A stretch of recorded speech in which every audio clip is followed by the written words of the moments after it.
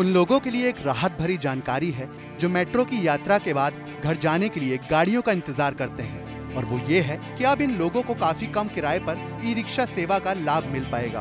केंद्रीय सड़क परिवहन राजमार्ग मंत्री नितिन गडकरी ने हुडा सिटी सेंटर स्टेशन से इसको हरी झंडी दिखाकर शुरुआत की। गुड़गांव में दिल्ली मेट्रो के साथ भागीदारी के तहत 1000 इलेक्ट्रिक रिक्शा शुरू करने की घोषणा की। स्मार्ट ई रिक्शा और डीएमआरसी मिलकर मेट्रो स्मार्ट कार्ड शुरू करने पर भी काम कर रहे हैं। जिससे स्मार्ट ई रिक्शा से यात्रा का भुगतान किया जा सकेगा और एक कॉमन मोबिलिटी कार्ड के इस्तेमाल को बढ़ावा दिया जाएगा।